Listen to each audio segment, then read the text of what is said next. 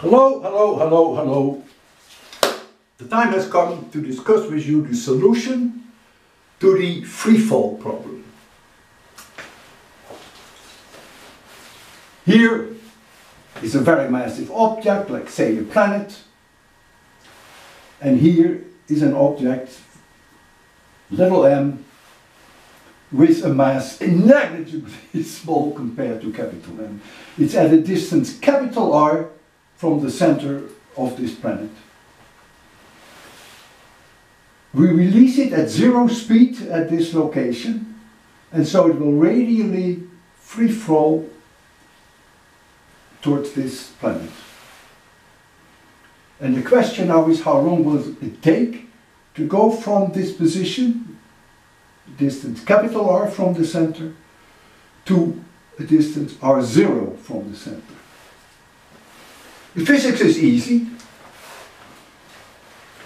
When the object has reached little r, this distance is little r, then the kinetic energy is the difference in potential energy between this point and that point.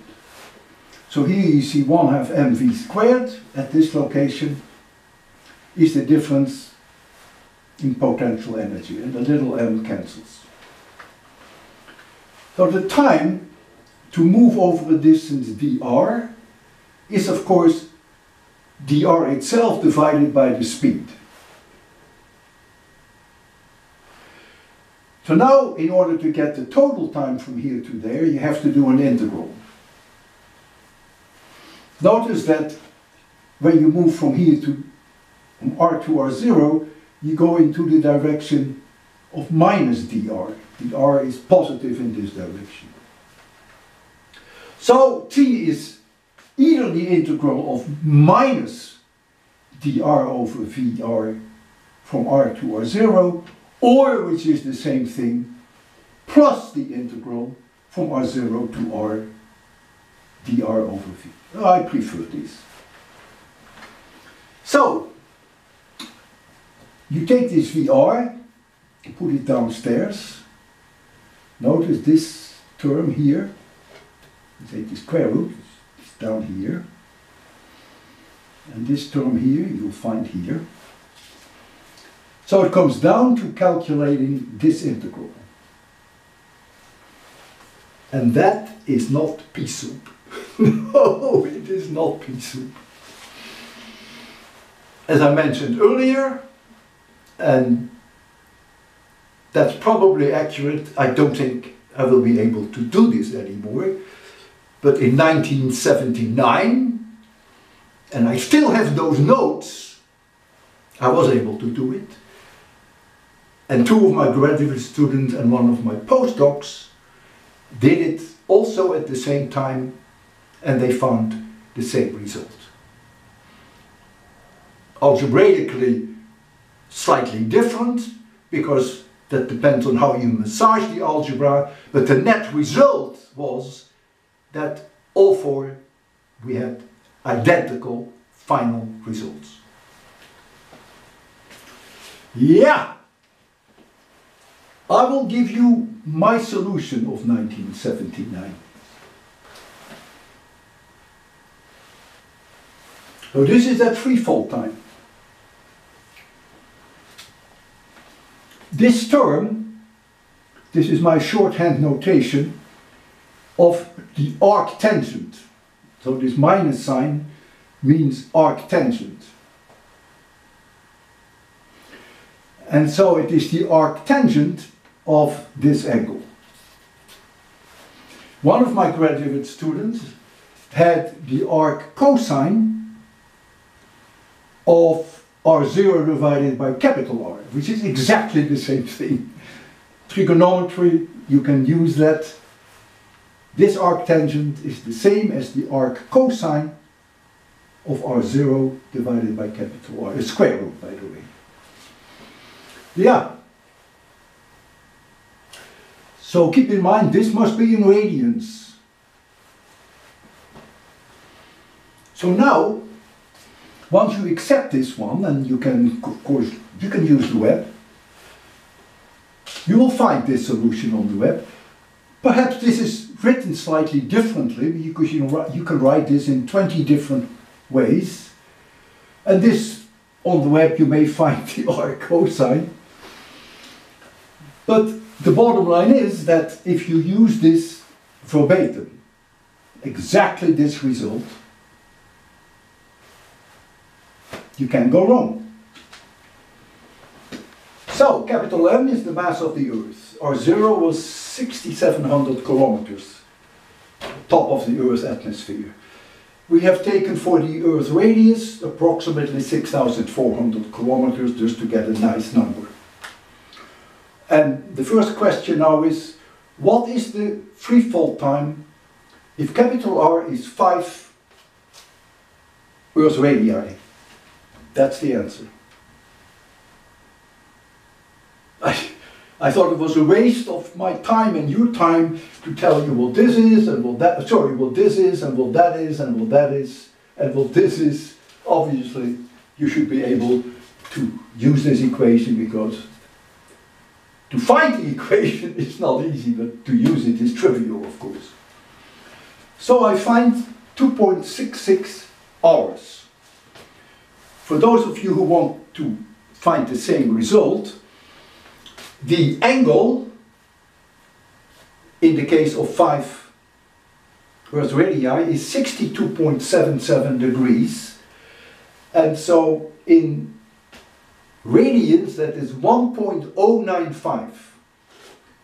So this whole term, in the case of 5 Earth radii, becomes 1.095.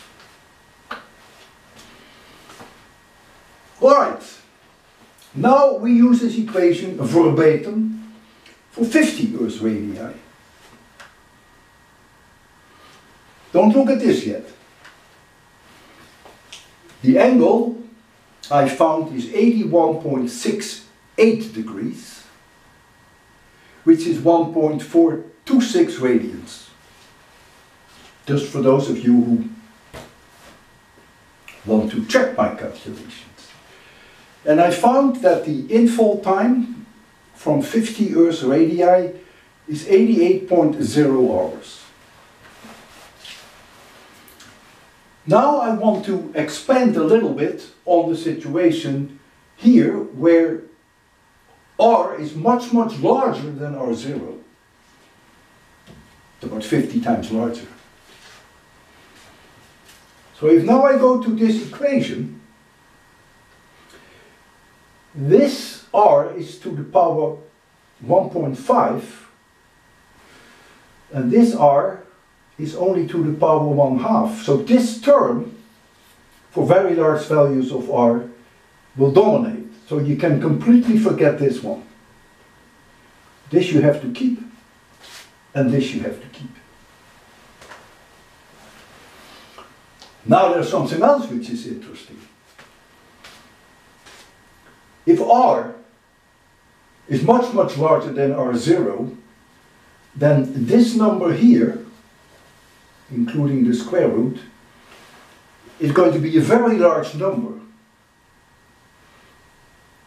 And the arctangent of a very large number must be very close to 90 degrees. And that is pi over 2 radians. Therefore, if you take a situation where r is much, much larger than r0, then the free fall time should be very close to this term. You have that here. Times r to the power 3 over 2, you have that here, times pi over 2. And the larger r is, in comparison to R0, the closer you will end up to have this free fall time.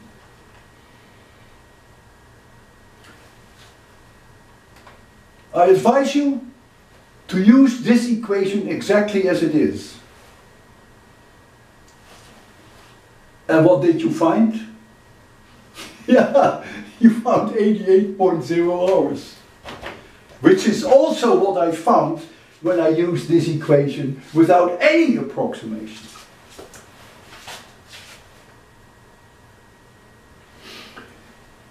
Suppose I have a circular orbit with radius r.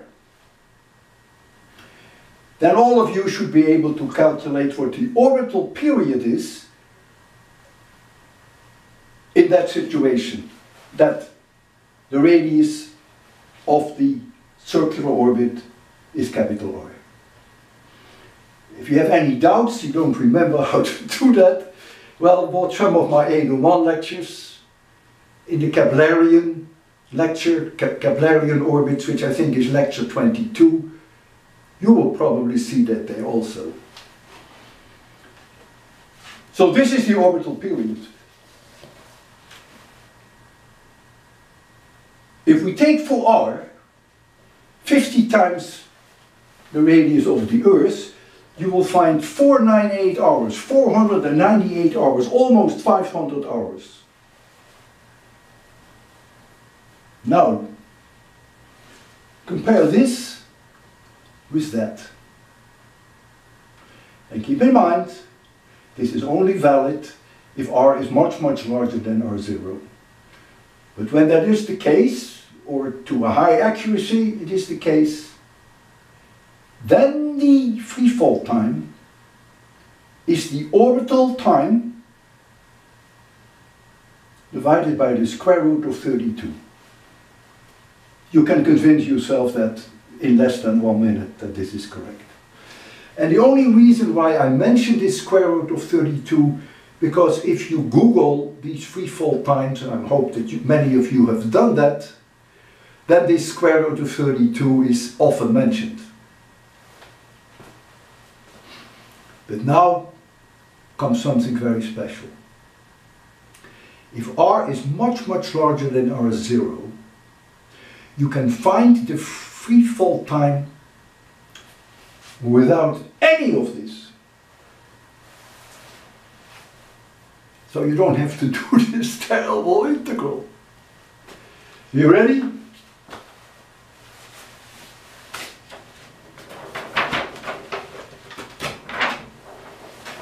What's my lecture 22, 801, Keplerian orbits? If this is an elliptical orbit, and here is mass capital M, then this is called the major axis. It's a name given to an ellipse.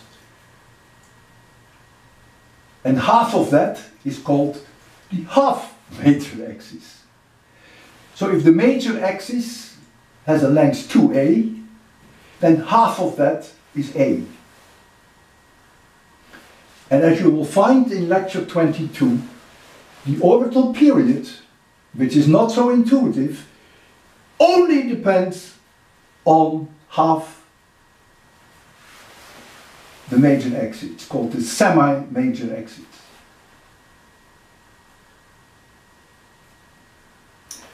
Not axis. it's the semi-major axis. So that's a to the third here. So what earlier in a in a circular orbit there was an r here, now there is an a here. It's not so intuitive. And therefore you may want to watch my lecture 22. So the orbital period only depends on the semi-major axis, A. Now follow me closely. I'm going to make this ellipse narrower and narrower and narrower so that this distance here in the extreme case goes to zero. But I don't change to A. I keep this the same. That means then that the mass m will be all the way here and the little m will be there. Now they are a distance m apart, a distance capital R apart. And so when this little m falls down and then goes around this capital M and comes back here, that would be a complete orbit. So the free fall time is half the time of that orbit. What is the orbital period of this whole process? Well, that is this equation whereby A is the semi-major axis. And the semi-major axis, if this distance is capital R, that semi-major axis is capital R over 2. So this is the orbital period if the trajectory is effectively a straight line, back and forth.